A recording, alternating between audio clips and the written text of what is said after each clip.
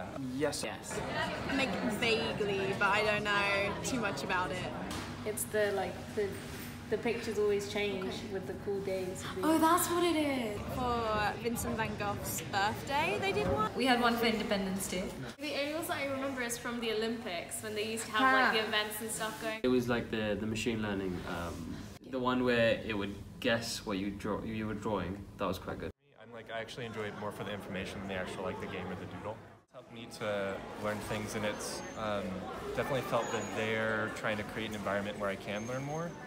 Um, so I do like that, yeah. And it's it's something that seems like it's really simple to do, but it makes a big difference. It was particularly interesting because it was just a hidden element that I didn't like um, sort of know about, and it's been there all this time. So like, not now, but obviously I've used like Google for a while. It was more about the games that interested me. You do look forward to the weird like little things going on. Like those games Or and like yeah, pictures. or like the days when you're just like, oh, okay, and you're doing your work and stuff, and then you go into Google and it's like someone's birthday. If people knew how interactive they were, it would be worth it. I mean, something I would agree with something along those lines. Um, yeah, it's definitely something that encourages me to try to learn more, and I think Google uh, it shows that they're kind of aware that first and foremost as a search engine, they're like a learning platform, yeah. um, which I think is important. I think it opened my insight insight about it. So like um, once I was going into the doodle part of it, it really changed my perspective.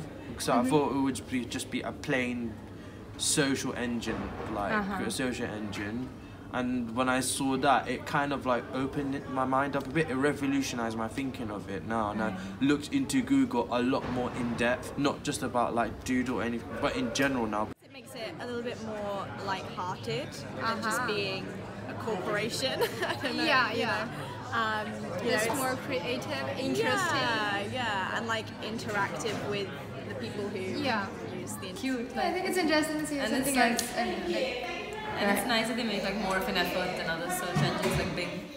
Yeah, I think if it's more interactive, then yeah, it'll be a bit more creative. it's quite nice. I it's think quite yeah, thoughtful. it's cute. Like it's like yeah, like it's not just boring. Yeah. Like going on to Google to search something. You kind of get a bit distracted. And you want to like. Yeah, like through word of mouth, I'd be like, oh, did you see this thing on Google today? Like, did you see? Unless it was like like a small video thingy with like characters, and it was like something that was like I was like say say it was about some scientist that I've just learned about or something, Uh-huh. and then it, they had like their birthday and it showed me like, then I'd be like, oh my god, that's so cool, and then I'd, I'd, I'd probably message my friend like, oh my god, have you seen the like Google Doodle?